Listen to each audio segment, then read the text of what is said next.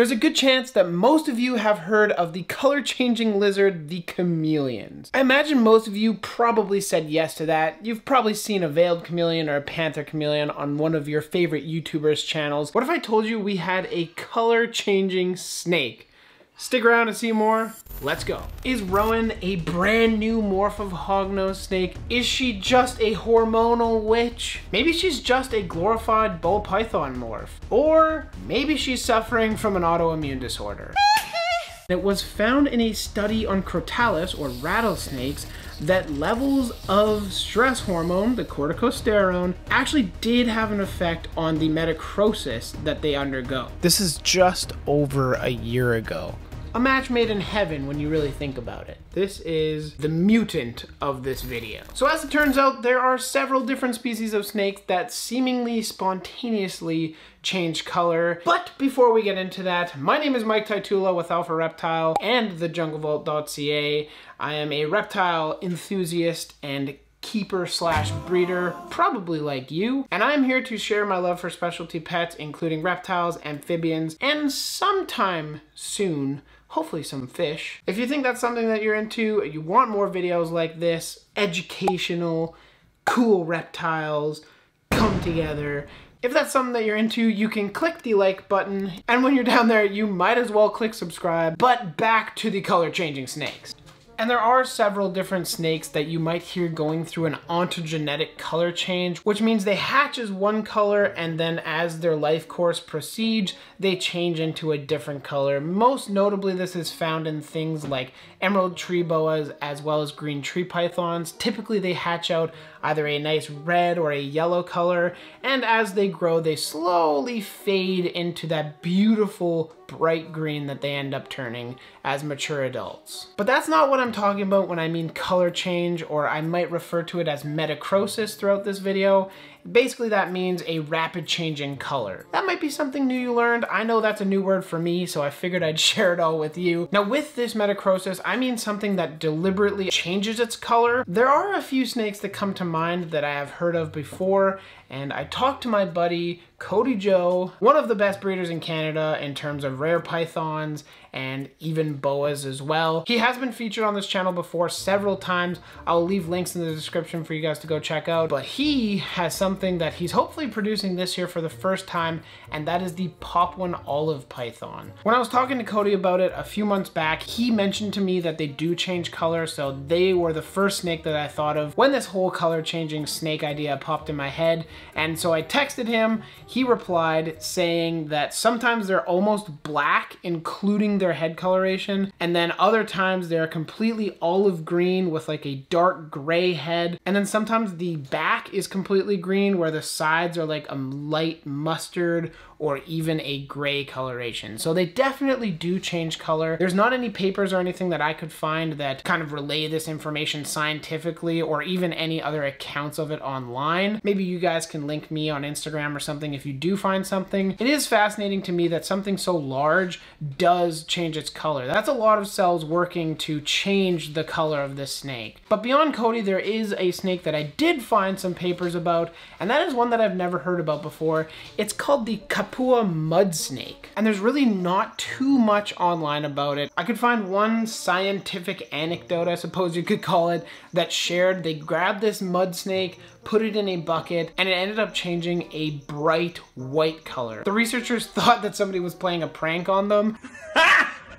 Got him! And that they switched the snake out for something else. It's just fascinating to know that there are snakes in the world that do change their color. Now that change in color variation might not be quite as dramatic as our good friends the chameleons, but the snakes put their best foot forward and we have to give them some credit for that. But that was me just mentioning a couple little case studies of snakes changing color. Something that typically doesn't come up when you're talking about snakes that change color are western hognose snakes. Let's go get Rowan and have a look what I'm talking about. I am not food. I appreciate it, but no.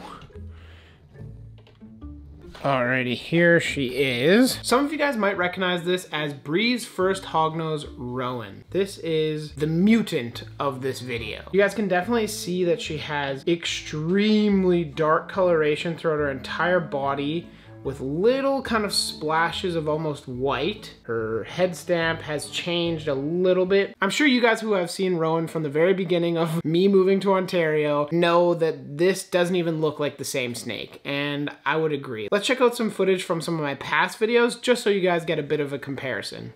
And here she is. This is from April of 2021. This is just over a year ago. Look at her. She is entirely different. She is very pale with dark splotches as most anaconda hognoses are. Nothing special here. And then again, coming up to the next clip. This is from June. Really, not all that much has changed. Maybe slightly darker with a little bit more fading coming down from those anaconda splotches, but otherwise, very, very similar. And finally, we have a clip from the end of August, and she is starting to look a lot different here. She's looking a lot darker. There's still no real white or any real change of color in that sense, but you can see definitely overall she's darker. Although it is worth noting that you can see by her eye color and her belly color that she is deep in blue, so that definitely will have an effect on her overall coloration.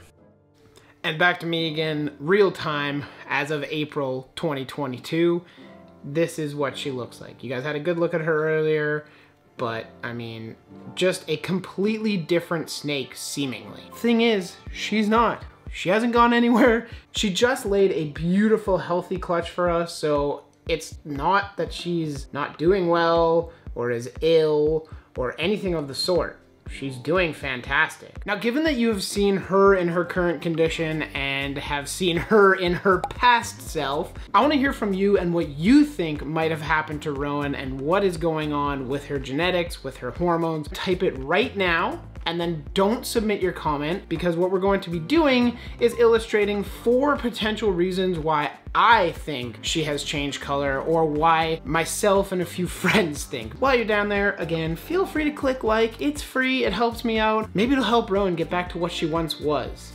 But do we even really want that? While you're leaving your comment in the comment section down below, feel free to click subscribe, stay tuned. Uh, maybe we get an answer to what's happening, maybe we don't. Now let's go explore some reasons why Rowan might have changed colors. And now that you guys have left your comments down below, let's chat about our first option, vitiligo. Now some of you might be like, dang, are we talking about Michael Jackson? No, but he did suffer from vitiligo. Now some of my audience might actually know who that is. Some of you kiddies might not. Regardless of whether you know who he is or not, vitiligo is an autoimmune disorder that attacks and kills the melanocytes. So basically the cells in your skin that react to a tan, like give you a tan, basically create melanin, so like the dark pigment, those die and the resulting tissue turns completely white. It is a relatively uncommon occurrence. Anywhere from about 0.5 to 2% of the entire population suffer from this. That is humans, obviously, but I don't think any of you care what it has to do with the human populations. We're talking about snakes. Or I guess we should be talking about reptiles in general, not just snakes. And with that being said, vitiligo can be found in animals. It has been documented in a water buffalo. It has been documented in several different cats and dogs.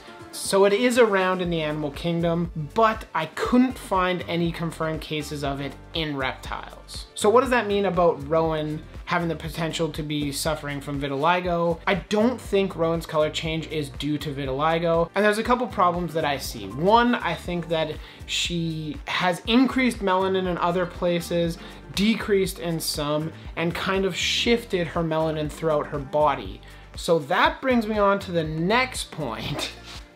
That point being paradoxing. Now my good friend Brian Barczyk, as you might know here on YouTube, as well as Jeff Galewood or JMG, the boss, I suppose you could call him, um, have mentioned that paradoxing could be one of the factors that is playing in her change of color. And I actually did end up speaking to Brian on the phone about it, and he's obviously more familiar with ball pythons, unfortunately. This is in hognoses, but in ball pythons, there is something called IMG, and that has to do with the metachrosis or the change of color, which typically develop like a gray patch and then get very dark depending on what their pattern was. Now this typically occurs after something happens with their scales, whether this be a small instance of potentially scale rot or even something as dramatic as just a terrible shed. This is typically when that IMG happens to it. Now, of course, that is in ball pythons. I don't know of anything like IMG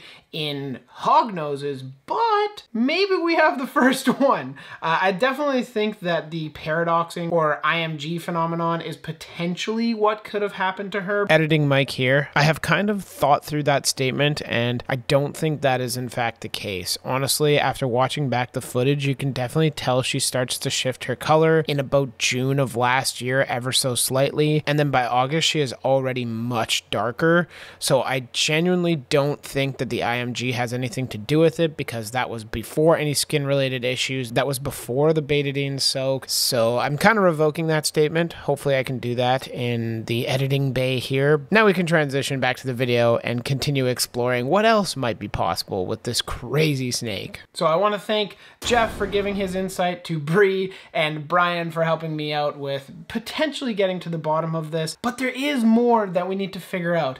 And there are a few other things that might be going on with Rowan here, and they're definitely worth talking about. You know the feeling you get when you are stressed or anxious for a test or some big event like an interview coming up? Well, you can thank your good friend cortisol for that. That is a hormone that you and I have, and reptiles have something similar. In reptiles, their stress hormone is called corticosterone. It's a very similar molecule to our kind of stress hormone. It does actually control to some level their metachrosis. But you might be asking yourself, well, Mike, how does stress hormones have anything to do with coloration? It was found in a study on crotalus or rattlesnakes that levels of stress hormone, the corticosterone, actually did have an effect on the metachrosis that they undergo. I'll leave the references down below as well as on the screen so you guys can check it out if you're interested in the paper. But at a very base level, what they did was capture these snakes, analyze their corticosterone levels. Some snakes actually were basically induced to have more corticosterone in their system, while some were just baseline normal what you find in the wild. They measured their response to a stress scenario. What they found in the end was that there was a positive correlation with increased corticosterone levels and a more stark contrast between the light and dark bands, meaning that they underwent color change because of being stressed. But could it have been as drastic as Rowan's change? And to be honest, no, I really don't think that it is reasonable to assume that Rowan's color change is specifically related to a stress response. Why do I think that? Because she has been eating normally. She did just lay a clutch of eggs, so that would be stressful, but she's been hydrated. She hasn't been acting stressed to myself or to Bree. And typically when something is under stress, you notice they're either aggressive, flighty, or something of the sort. And you guys have seen throughout this whole video that Rowan hasn't been any of those things. She's been a typical hognose, maybe not sitting completely still like she is now. I do also believe that it would be kind of unreasonable to witness such a dramatic change just due to a stress response. I know there's some other animals like chameleons and other things that are very good at changing color that do make such dramatic change. But in a species that really doesn't change color at all, even under stressed conditions, I think it would be kind of unreasonable to suggest that this is solely due to a change in stress hormone in her body. Although I will say that it could be possible that it is a combination of different hormones leading to such a dramatic change. Who knows? Again, let me know in the comments down below what you think. And now I think it's time to tackle the most exciting possibility.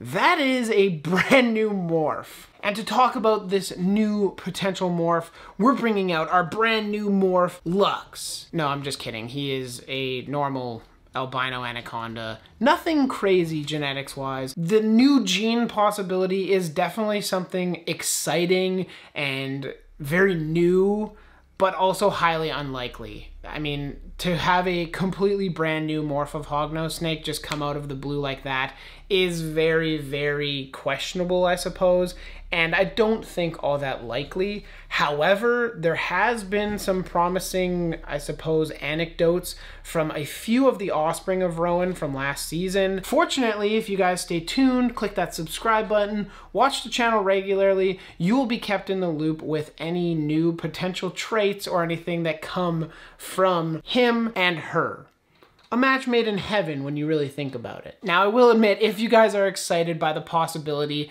of there being a new morph, you guys can get in contact with us on Instagram, Facebook, uh, the YouTube comments, I suppose, but I'll just direct you to Instagram. We do have several breeders already waiting in line for offspring. So if you do want to be part of this potential new gene craze, I don't want to oversell it to you. It is just possible. It's a complete fluke and it's nothing crazy, but it is possible that there is a new gene afoot and it's here to stay. But that's all I got for this video. So what do you guys think it is?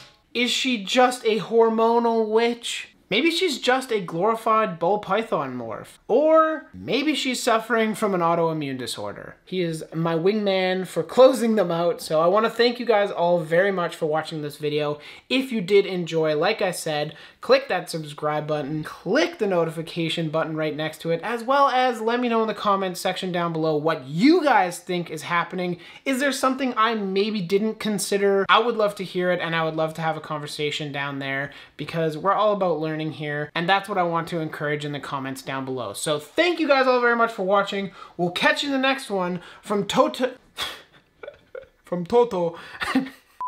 From Totoka and myself, I want to thank you all very much for watching. We'll catch you in the next one. Later.